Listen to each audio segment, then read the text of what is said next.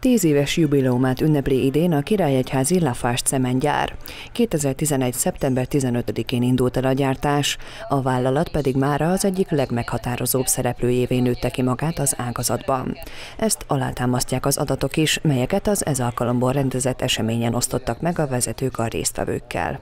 Ez egy nagyon nagy nap ez a mai, nagyon büszkén állunk itt ebben a parkolóban, hiszen még pontosan emlékszünk rá, hogy ez a parkoló tíz évvel ezelőtt még nem is létezett itt ugye 2007-ben még kukoricatábla volt Királyegyházán, amiből aztán mi itt most 10 év alatt Magyarország egyik legmeghatározóbb építőanyaggyártóját hoztuk létre, és nagyon büszkék vagyunk erre az elmúlt 10 évre, hiszen tudjuk pontosan, hogy honnan indultunk, és ez egyfajta büszkeséget, magabiztosságot, de ugyanakkor alázatot is ad, hogy ma itt együtt a 10 éves évfordulót ünnepelni tudjuk. De hogyha azt vesszük, hogy mennyi munkavállalót tudtunk foglalkoztatni, ugye, ugye 150-en fölül van a létszámunk folyamatosan, mennyi családnak adunk megélhetést itt a környéken, mennyi árut fuvarozunk, mennyi mennyi, mennyi egyéb szolgáltatást veszünk igénybe, akkor azt látjuk, hogy egy exponenciális, növekedést ö, ö, tapasztalhatunk.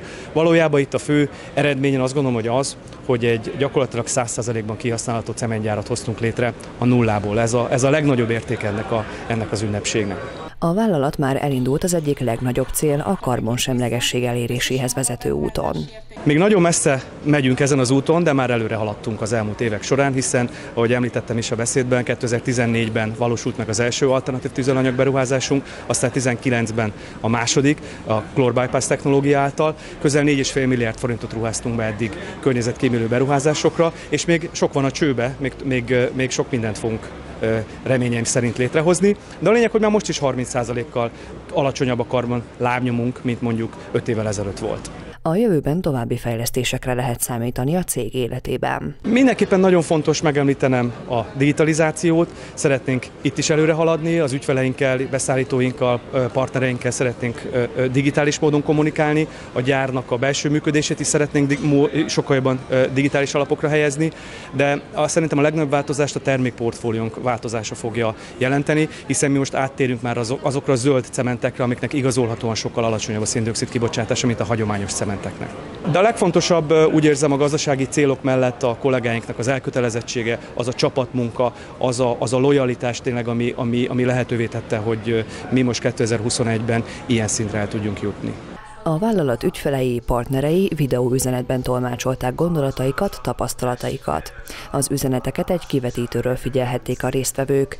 Ezt követően emlékplakettel köszönték meg azon dolgozók munkáját, akik már a kezdetek óta a gyár alkalmazottai.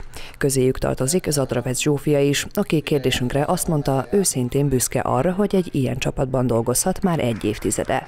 Nagyon büszke vagyok arra, hogy már tíz éve itt dolgozom. Ez a mai világban viszonylag ritka, hogy az ember ennyi időt tölt el egy munkahelyen, úgyhogy én erre ténylegesen személy szerint büszke vagyok.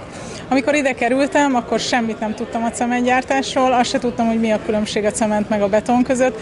Már ez most már megfordult, és most már a termékfejlesztésért is felelős vagyok. Amikor ide kerültem, akkor a kommunikáció volt az elsődleges feladatom, aztán közben a tíz év alatt pályafutásomban több feladatkört láttam el, és most végül, de nem utolsó sorban egy stratégiai területére a fenntartóságért vagyok felelős, ami számomra külön öröm, hiszen így a jövő bolygóját építhetem együtt a többiekkel és a csapatommal, és azt gondolom, hogy ahhoz, hogy eljutottam idáig, ahhoz egy nagyon-nagyon ütőképes és fiatal, modern, motivált csapat az, ami hozzá segített. Az ünnepség azonban itt nem ér véget, hiszen a cég idén is megrendezi a hagyományos jótékonysági futóversenyt és a jubileumi nyílt napot a gyár mellett.